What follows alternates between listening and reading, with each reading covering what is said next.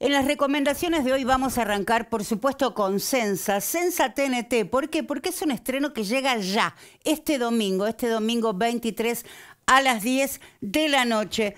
Eh, como todos saben, Cris Miró fue la primera vedette transgénero en el Maipo. Eh, esta serie narra todos los inicios desde el Teatro Ander hasta su meteórico ascenso a la fama. La amó el ambiente artístico, pero también la odió.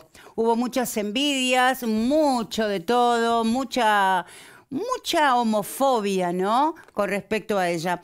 Eh, fue tal el ataque mediático que cuando murió el primero de junio, ya hace 20 años, 25 eh, años, perdón, el primero de junio del 99 a los 33 años, como consecuencia de complicaciones eh, vinculadas al HIV, la comunidad eh, homosexual argentina escribió en un comunicado, Cris Miró tuvo la valentía de ser una persona travesti que se enfrentó públicamente a la intolerancia desde su trabajo y desde su arte. Sufrió la peor de las enfermedades, la discriminación. Y esto es verdad, y esto se ve en esta miniserie que está, pero miren, si hubieran encontrado una hermana gemela de Cris Mirón, no sería tan parecida.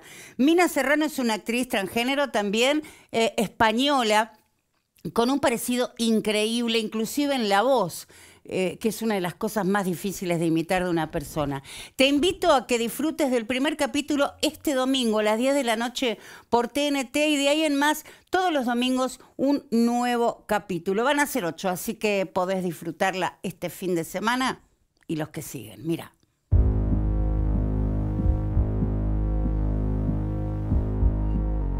Hoy nos visita una figura nueva de la revista porteña,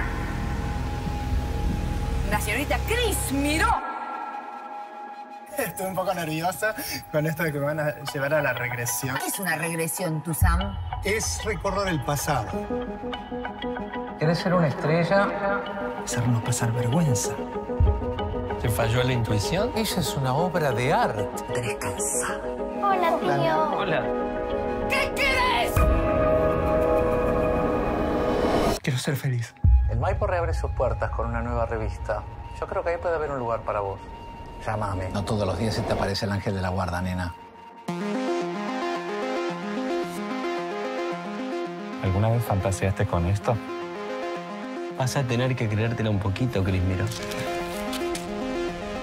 Y es que papá es único y yo soy igualita a él. Lo dice por la barba.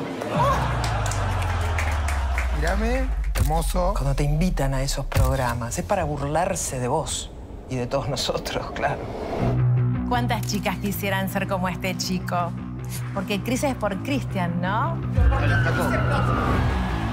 No pienso competir con un travesti. Griselda pidió tu cabeza.